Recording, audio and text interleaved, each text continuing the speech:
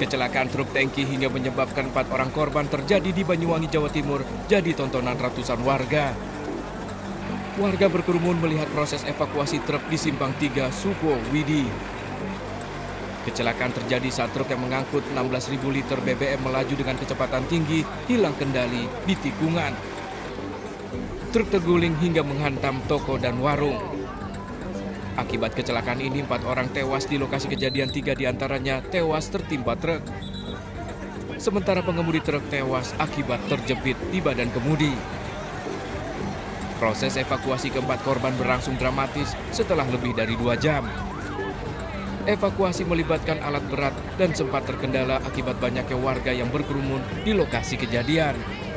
Dari Basarnas kami tiga evakuasi dibantu dengan warga dan orang-orang sekitar dan puskesmas setempat. Damkar juga polisi ngamankan lalu lintas, tapi memang overload. Wah, masa. Jadi kita untuk keselamatan polis lainnya terbatas.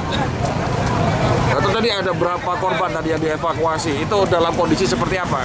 Ya, dievakuasi semua empat orang, Gojek, Akamsi, anak kampung sini tiga. Kecelakaan yang menewaskan empat orang ini masih dalam penanganan petugas Satlantas Polres Banyuwangi.